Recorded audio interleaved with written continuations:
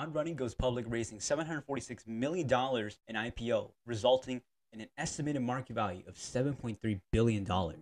A brand born 11 years ago in the Swiss Alps is now contending with the running superpowers such as Nike, Adidas, and New Balance. One key point to note is although On is a Swiss founded company, their biggest office is now in Portland, Oregon. What's the significance of this? Not only the 2022 World Championships are in Oregon, but Nike's headquarters is a mere 12 minute drive away from On's US head office. It's fair to say that On is currently in the right place.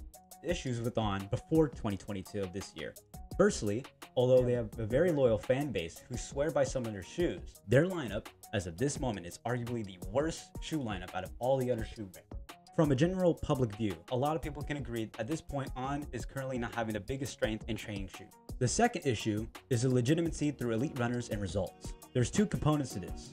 The first one is having the elite level lineup to showcase on products performing well globally. Athletes such as Joe Klecker, Ollie Hoare, Chris Thompson, Sage Hurta, Morgan McDonald, Geordie Beamish, Alicia Monson, Charli Hawkins, and many more amazing athletes who are highly admired and respected in the track and field community. This solves the first component and to create such a strong team after only 11 years in business is a phenomenal feat alone.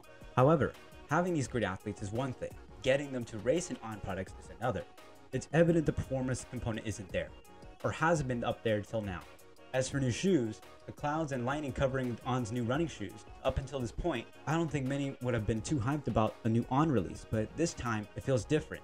No cloud tech in sight, an ironic name considering how hard their shoes feel. All jokes aside, the reason these new shoe releases feel different is that their athletes are now wanting to wear their spikes in races. In the recent Millrose Games, the men's and women's 3000 meter winners, both OAC athletes, both wearing On's newest spikes. Why is this so important?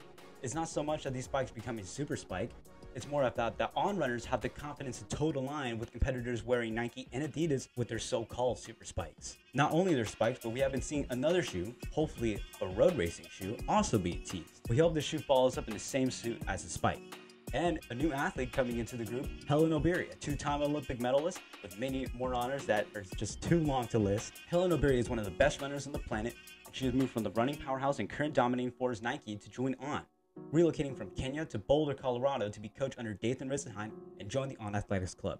There's also a new European group, people training the On shoes together in Europe who were previously with other brands.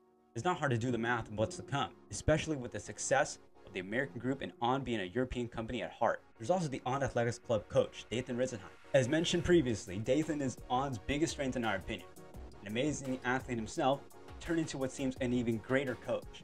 It's no surprise runners like Helen Obiri are relocated to train under him. There's reports that Dathan also helps with the shoe design, but we couldn't find anything to confirm or deny this. There's also On's marketability. Sometimes marketing is more important than the product itself. The best mix is having both a great product and a great marketing strategy. On's marketing strategy has been clearly successful. All you have to do is look at the numbers. As well as this, you have athletes doing their own part to grow their individual brand, as well as as on. From the Coffee Club podcast, Morgan McDonald's YouTube channel, Charli Hawkins' massive Instagram following, and on sponsoring Ben Crawford's new generation track and field running camp. This running camp invited promising creators from across the country to learn skills to produce content and grow the sport. With this came a lot of videos from all the other content creators, as well as new generation track and field videos that amass hundreds and thousands of views.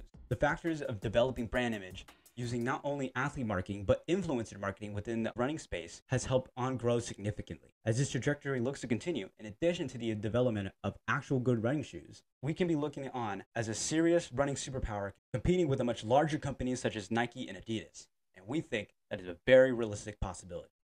If you like this video, please like and subscribe for more running content.